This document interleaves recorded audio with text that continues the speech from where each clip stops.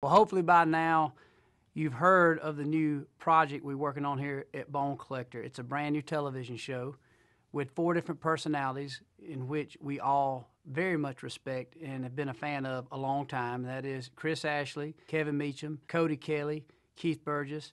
These guys have a long history of being very good entertainers and hunters. The cool thing about this show, it gives viewers basically something that they've been asking for a long time a very clean, sincere, and simple approach to documenting what we all love so much, and that is hunting. Can you still get up there with all that extra weight on you? I don't know, like a cat squirrel. Well, you ain't as nimble as you once was. You don't think? Uh-uh. And that was our approach on this, is to be able to keep it clean, almost cinematic, almost like a movie to where when the adventure starts, it's not clouded by a long, repetitive open. It's not clouded by a lot of graphics.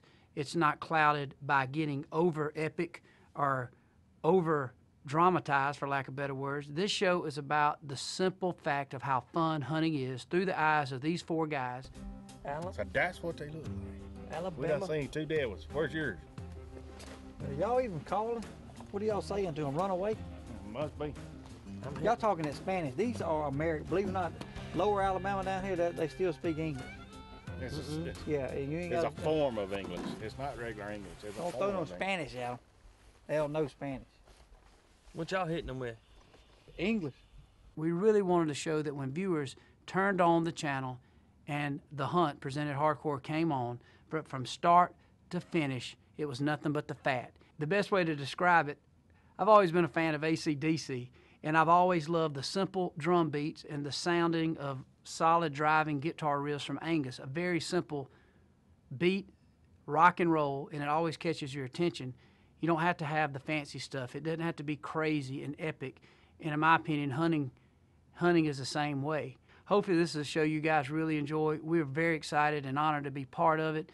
This is a show that we built based on y'all's feedback of what the viewers said they wanted. And we hope you guys respond. We hope you guys give us y'all's feedback. We're so excited for you guys to tune in and watch it. And it's about to come up and start airing on the Sportsman channel here soon. You just drop your hand with the big eight.